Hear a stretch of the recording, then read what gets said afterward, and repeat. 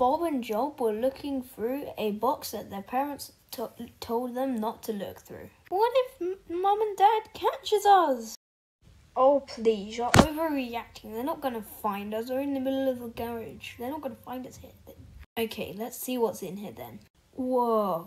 Job, come look at this. What is that? Let's find out. Ah!